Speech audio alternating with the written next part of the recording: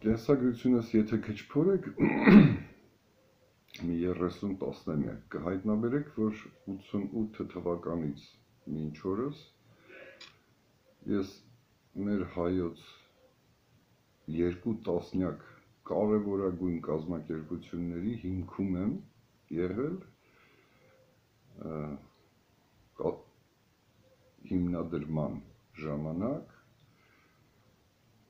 գաղափարական մեխանիզմները, գաղափարական մասը, մտքի մասը ապահովելուց միշտ եղել եմ ներկա ու ոչ երկրորդ դերերում։ Անմիջապես հեռացել եմ այնտեղ, այնտեղից, այդ տեղերից, երբ մտքի փոխարեն սկսել են փող կիսել իրար մեջ։ Ես անմիջապես հեռացել եմ եւ ավանդույթին, իմ 30-ամյա ավանդույթին հավատարիմ, ոչ մեկի չեմ հրավիրում կազմակերպությունների մեջ։ Ես աշխատում եմ, կերտում եմ կազմակերպություններ, հարյուրավոր մարդիկ եմ բերում այնտեղ աշխատելու, հենց փողը կիսում են, ես հեռանում եմ կախա, որտեղ գիտեմ, եթե չհեռանամ ինքս,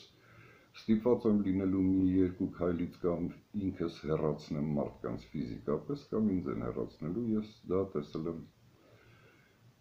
90, 91, 92 թվականներին, այն ամենը, ինչ դուք դիտել եք երկար 30 տարի, ես դրանով զբաղվել եմ անմիջականորեն, դիտել եմ լաբորատորիայում միկրոսկոպի տակի տարբերություն, ձեզ այդպես է կյանքը ստացվել կներեք համակարգացի որպես պարտավոր եմ պարզապես տեղեկությունը ստալ բաց հասարակությանը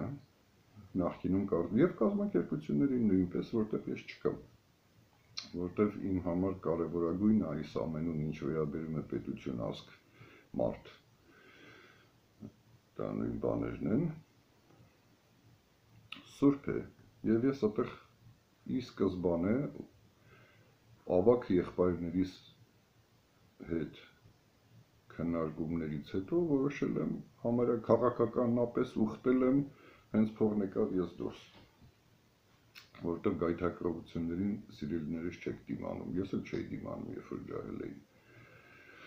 բայց գիտելիքներ ունեի որովհետև պատահականորեն ծնվել էի միտեղ որտեղ ծնված օրվանից լսնում էին էլի գլուխդ ասում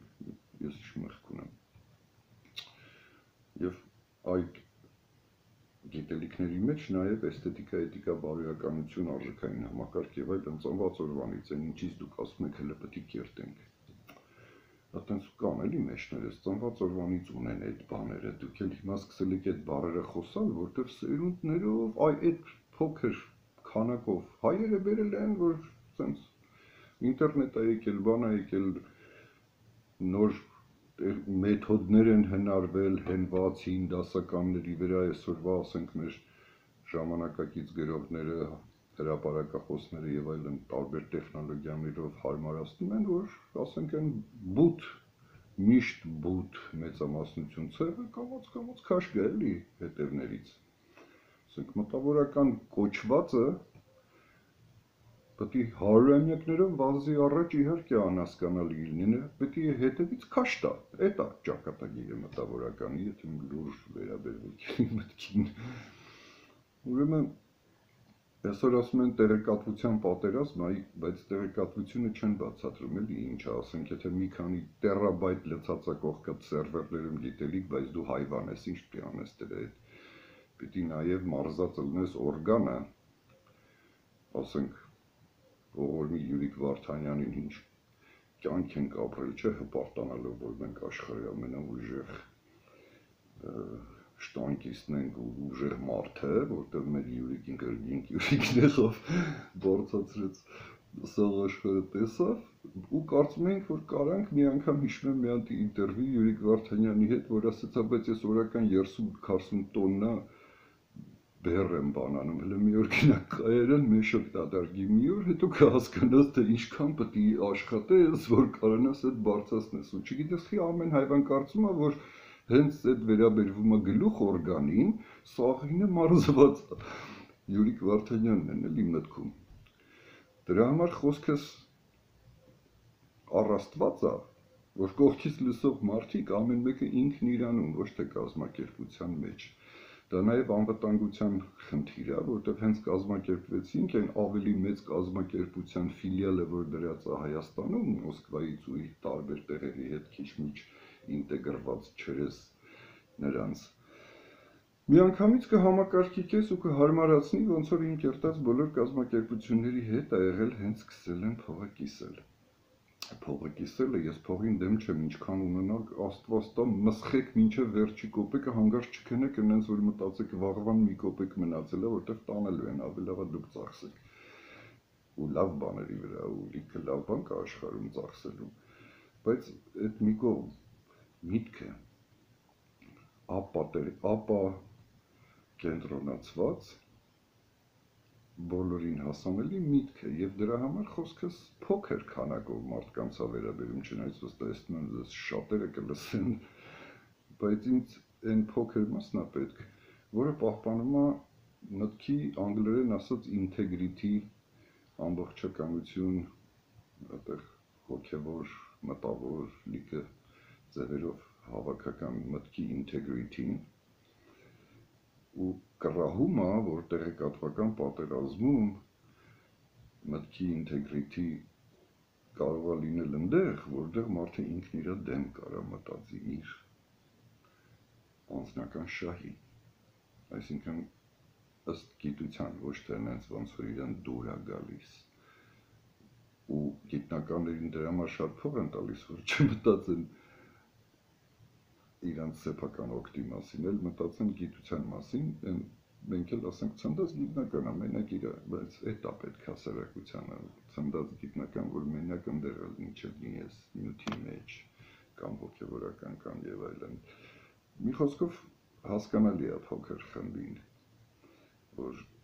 սա ապակենտրոն մտքի տարածումն է ու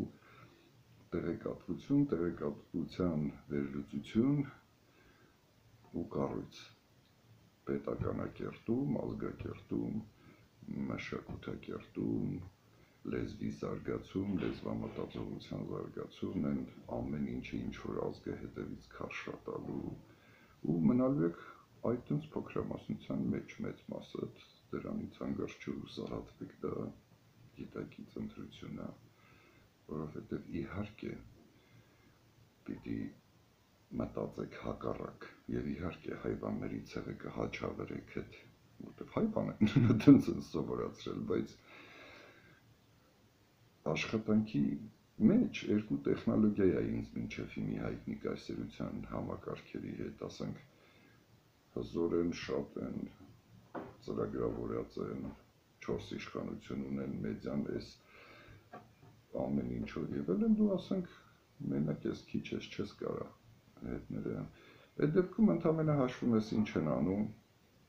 սադրում ես, որ արագացնեն։